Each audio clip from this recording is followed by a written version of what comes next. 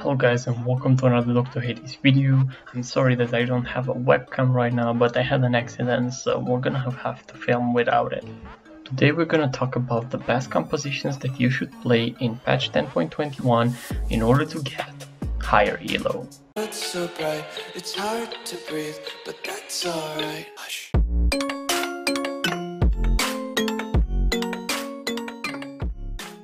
So the first composition that you should play is 6 Divine. Divine champions remove all crowd control and ascend, taking 50% reduced damage and dealing 50% bonus true damage for the duration of 10 seconds. So they are really powerful and of course if you play Adept, Adepts calm the flow of battle, reducing the attack speed of all enemies by 50% for a few seconds at the start of the combat, which will be 4 or 7 depending on how many adepts you will put. And this team will carry you very very hard. The thing is, it's really hard to hit this team without a chosen divine. It's not impossible because there are 6 divines available, but it's a lot harder and your team has the burst damage when you hit 6 divine. So it's very important. Once you get the chosen divine, you should play this team using Shen, Lee Sin, Jax, Warwick, Irelia, Yone, Lux, Janna, getting 6 divine, 3 Adept, 1 Exile, 2 Duelist, 2 Enlighten, 2 Mystic and 1 Ninja.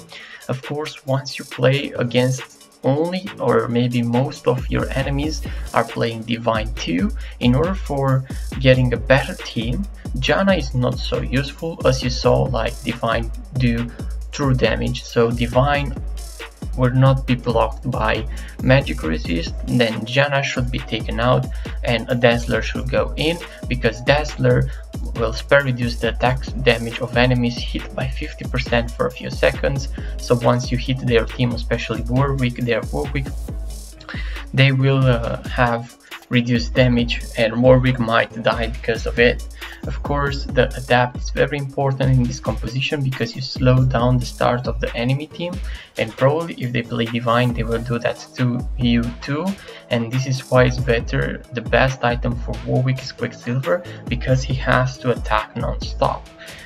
So the second item on Warwick should be a Statikk Shiv. It's very important to have at least one Statikk Shiv and We'll see about the next item, but the best is to have two static shield. Of course, another item that should be good in uh, this composition can be Rage Blade. It's pretty viable, not the best situation.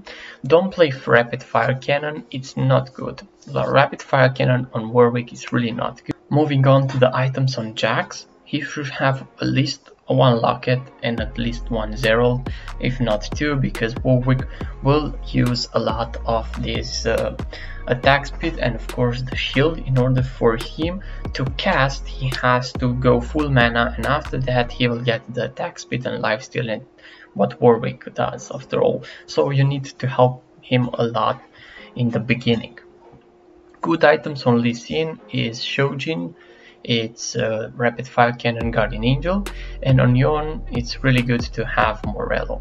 If you have still items of course Spear of Shojin is pretty good on Lux but the core items that you should focus on is Statikk Shiv and Quicksilver for Warwick and of, of course the items for Jax which are Zeke's and the Locket. Yeah, these are the most important, do not forget Janna should go out if the enemy team doesn't have uh, magic damage and you should put a Dazzler in. Moving on on the second best comp that you should play in patch 10.21 is Chosen Sharpshooter. After all sharpshooters are really powerful right now, having a scary Jinx, Jhin and Riven but mainly Jhin and Jinx because Jhin will do the damage, Jinx will do the crowd control and of course you have different other champions that will do damage and crowd control but these are your carriers. So in this composition of course sharpshooters in order to remind you attacks and spells ricochet to nearby enemies dealing reduced damage, 3 ricochets with 35% reduced damage. For keepers, At the start of combat, keepers granted themselves and all nearby allies a shield for 8 seconds. This shield is 50% stronger on keepers, so your team will have a better front line. Of course, Dusk will get you 20% spell power, Ninja and Warlord are just uh, not so necessary and this is why I'm not gonna tell you extremely how they do.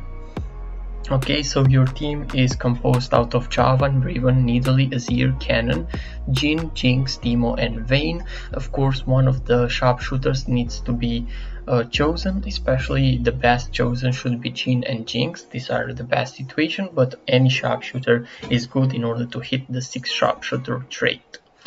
On the keeper, I don't recommend to get a chosen keeper, late game at least. Early game it can be, but after that you should search for a 6 sharpshooter because this composition is not good um, without the 6 sharpshooters. So in this composition you have 6 sharpshooters, 4 keepers, 2 dusk, 1 ninja and 3 warlords.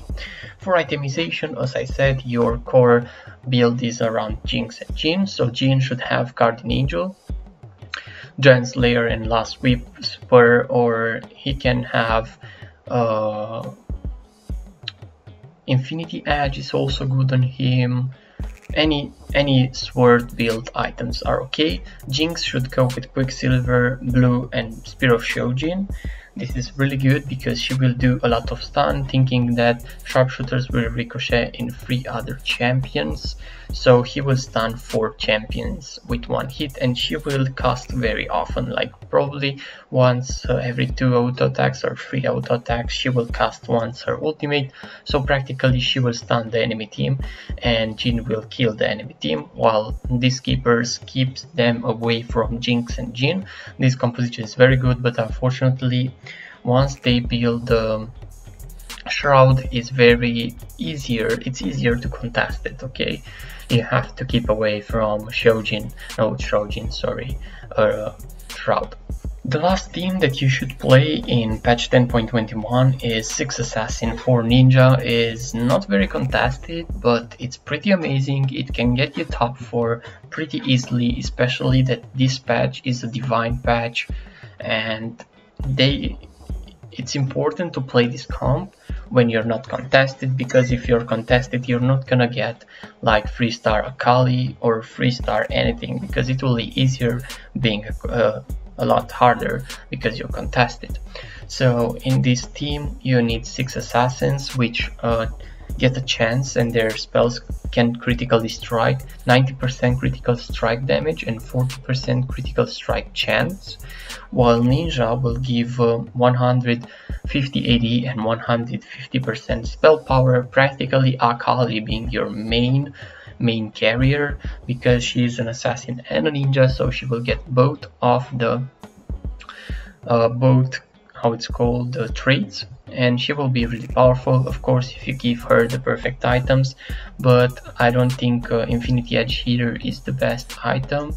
I think it's uh, Stack. let me change really fast. Okay let me move back. Okay so your main carrier is Akali here because she she is six assassins for ninja so she's an assassin and a ninja and she will get uh, the bonuses from the both for, uh, traits. But you need perfect itemization on her which is blue rapid fire cannon and hextech hextech is very important because she needs to get life back. Because if not really i saw her being uh, really destroyed. She will do more damage with infinity edge but she it's a lot easier to kill. Of course, your second carrier should be Talon with Bloodthirster, Giant Slayer, and Infinity Edge. After all, any uh, blade related or sword related item is good on Talon. The others, I don't know if he, they really need itemization, but Shen could be like a, a carrier for um, items that are tanky so you should give him the tanky items.